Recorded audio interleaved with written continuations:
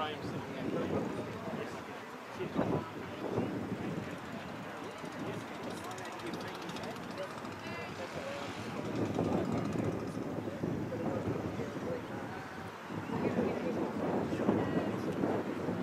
hundred metres, it's Pramesh Prasad leading the eight hundred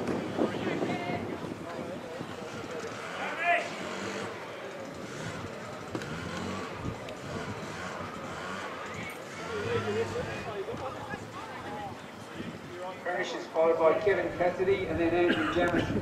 So Kevin and Andrew are both heading off to Tampere at the end of the month, competing in the World Masters Athletics.